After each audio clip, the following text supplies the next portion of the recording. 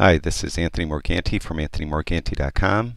In this video I'm going to show you how to add the moon to an existing moonless photo using Pixelmator.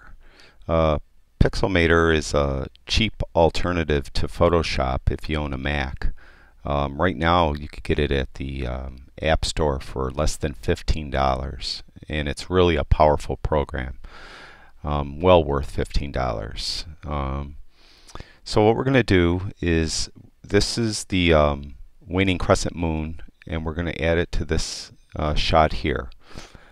Um, first thing we're going to do is click on the picture that we want to add the moon to and we want to duplicate the layer and you go up to the menu and click layer duplicate layer the reason why we're doing that is if we make a mistake um, we don't have to reload the photograph or make any uh, you know have any problems like that, we could just throw a layer away.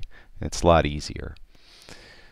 Now uh, go over to the photo of the moon and click on it. We're going to want to click on the Move tool, which is this big arrow here. Then we go over to the Layers palette and we just grab the layer and drag it onto the shot, uh, the place on the, the photograph where we want it. Now if we want to make it a little bigger or smaller we could drag out any of these little uh, boxes uh, located around the square uh, photograph. Um, when you do that hold the shift key down and it will keep everything in proportion so you're not distorting the moon. The other thing I'd like to do with this particular photo is rotate it because in the photograph it appears that the sun is, is shooting down from the left uh, part of the sky. And in the moon picture, it appears the sun is more level, even slightly downward, shooting up at the moon. So we want to match the uh, angle of the light. So all you got to do is, is move out from the corner and you'll see that your uh, cursor turns into a double arrow. When it does that, just spin it as you like it and you know, when you're happy with it, just leave it there. The next thing we want to do is we want to blend the moon in uh, to the sky. So right here where it says blending, you'll see right now it says normal.